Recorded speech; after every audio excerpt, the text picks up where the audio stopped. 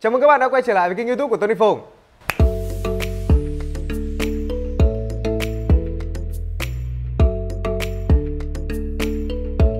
Mình lâu lâu lượn lờ mà check giá điện thoại một chút xíu thì mình thấy bất ngờ. Bất ngờ bởi vì sao? Bất ngờ bởi vì Galaxy S9 Cộng và Galaxy Note 8 hiện tại nữa đang có một mức giá mình thấy, ô ô. Ô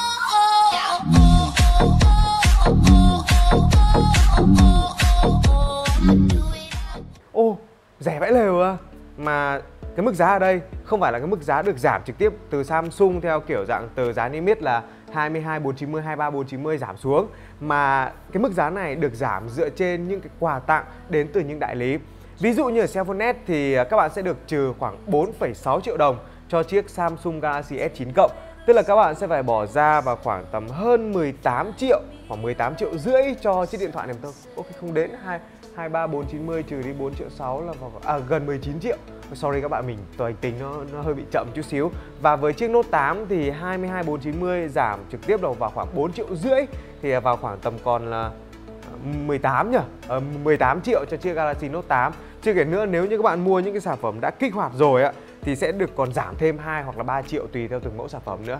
Tức là nếu mà nói cho đúng ra thì các bạn sẽ phải bỏ ra cái mức giá nó rẻ hơn rất nhiều so với cái thời điểm mà những sản phẩm này mới ra mắt ở thị trường Việt Nam và các bạn đã có thể tiếp cận được nó với một cái trải nghiệm ok và mức giá phải bỏ ra thì hợp lý mình đánh giá là như vậy.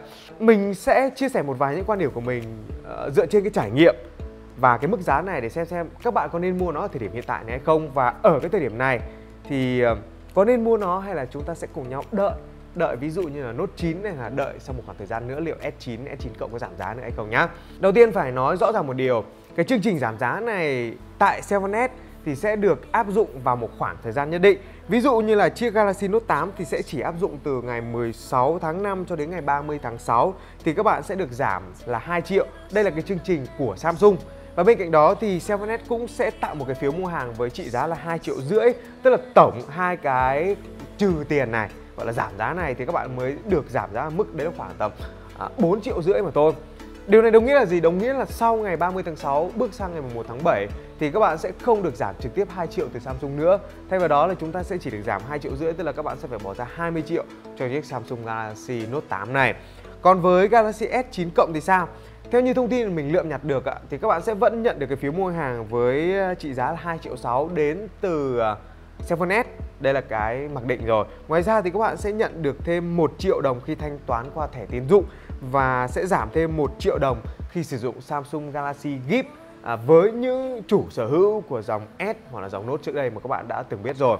Thì điều này đồng nghĩa là gì? Đồng điều này đồng nghĩa đấy là khi các bạn mà mua máy thì chúng ta sẽ phải có thẻ tín dụng hoặc là chúng ta phải có thêm một chiếc S hoặc Note trước đây để sử dụng Galaxy Gift thì các bạn mới được giảm nhiều như thế này. Và thông tin mà mình nhận được thì nó cũng sẽ chỉ diễn ra đến hết tháng 6 mà thôi. Điều này đồng nghĩa là sang đến tháng 7 các bạn sẽ chỉ được giảm có khoảng 2 triệu 6 cho chiếc Galaxy S9 cộng này mà thôi. Tức là gì? Tức là đây không phải là một cái chương trình nó xuyên suốt và nếu như các bạn muốn mua với một mức giá rẻ thì phải nhanh tay tại vì cái thời gian nó không phải là ờ, mãi mãi về sau, nó sẽ chỉ có một khoảng thời gian giới hạn nhất định mà thôi. Và với tầm khoảng 18 triệu cho đến 19 triệu cho chiếc Note 8 hoặc là S9 cộng thì có lẽ đây là một cái mức giá hợp lý. Tại vì sao? Tại vì S9 cộng ở thời điểm hiện tại thì nó đang là chiếc flagship Samsung, có thể gọi là chạy Android đi, bá đạo nhất và có thể gọi là hoàn thiện nhất ở thời điểm hiện tại. Màn hình cong, sexy, thiết kế tốt, camera tốt bảo mật mống mắt, khuôn mặt, vân tay đầy đủ, rồi knock rồi Samsung Pay, rồi mọi thứ liên quan đến trải nghiệm ở phần mềm phía bên trong, rồi những trải nghiệm liên quan đến Samsung Galaxy Gift rồi mọi thứ. Mình nói chung là ờ, mình thấy là Samsung Galaxy S9 cộng là một chiếc điện thoại thuộc dòng S, rất đáng để các bạn trải nghiệm. Và cái mức giá trước đây 23 490 nó vẫn thực sự gọi là trái hàng, thì không có lý do gì để tầm giá rẻ hơn như vậy, còn khoảng tầm 19 triệu lại không đáng để mà mua cả và với chiếc Galaxy Note 8 thì sao?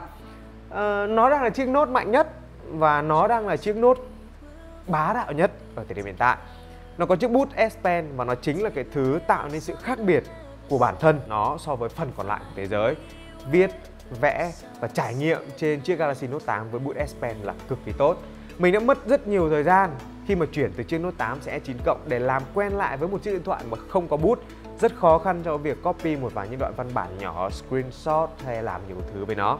Ghi chú cũng là một thứ rất là quan trọng mà E9 cộng không thể nào làm được giống như Note 8 và như mình đã nói rồi, bút nó tạo ra sự khác biệt. Và khi chúng ta chưa có Note 9 mà mình nhớ không nhầm nó có phải vài tháng nữa mới có Note 9 thì Note 8 vẫn là một sự lựa chọn cực kỳ tốt dành cho các bạn và các bạn nghĩ sao về hai chiếc điện thoại này cũng như là cái mức giá cực kỳ tốt của nó ở thời điểm hiện tại? Hãy chia sẻ ý kiến ở comment phía bên dưới nhé. Và các bạn nghĩ sao? Giảm giá như thế, có đáng để mua hay không? Hãy chia sẻ ý kiến luôn nhé. Và nếu muốn mua một sản phẩm giá rẻ thì có thể đến với Xiaomonet thông qua link phía bên dưới phần mô tả video. Có thể là thời điểm các bạn đang xem video, nó cũng sẽ xây dựng một vài những vấn đề liên quan đến chương trình khuyến mãi hoặc là giảm giá. Vậy nên hãy click vào link để cập nhật cụ thể tại thời điểm các bạn đang xem video.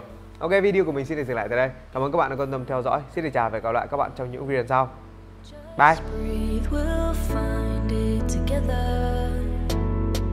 Take me where the sun don't ever set